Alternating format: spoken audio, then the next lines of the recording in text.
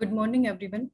I am Dr. Pooja, Junior Resident in Radio Diagnosis Department in PGIMS Rohtak. I am presenting oral paper on thanatophoric dysplasia.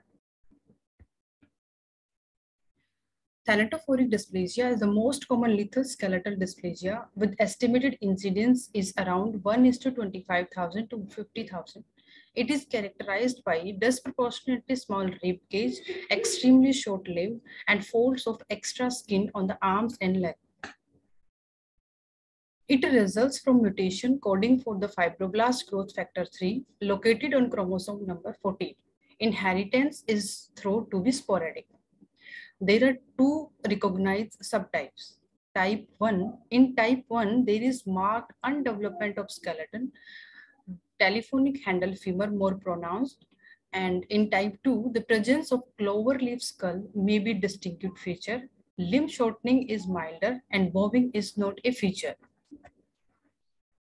We present a case of 26-year-old female presenting for routine antenatal ultrasound examination at the gestational age of 18 weeks. Uh, she was a primary gravida with no family history of any congenital abnormality investigations was done, antenatal ultrasounds. On antenatal ultrasound, there was shortening of limb, micromelia, femur was shaped like telephone receiver, small conical bell-shaped thorax, abdominal circumference more than thoracic circumference, and reduced liquor. They, there was normal head shape.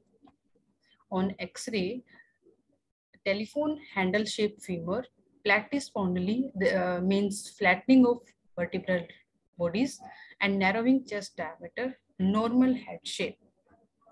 These are the x-rays in which in the first image, there is telephonic handle shaped femur. Plat in second, there is platis spondyli, the flattening of vertebral bodies. And uh, third, narrow diameter of chest.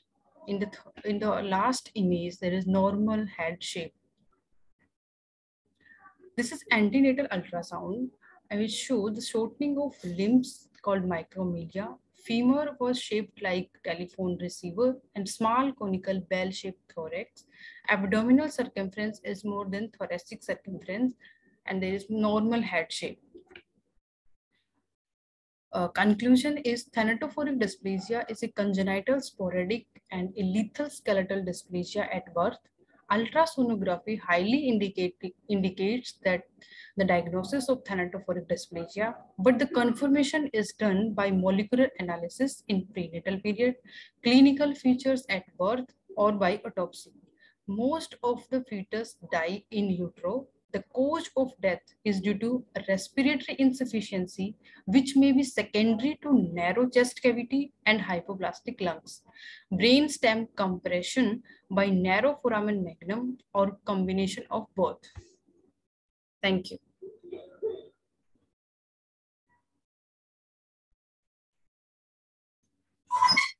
So, Coach,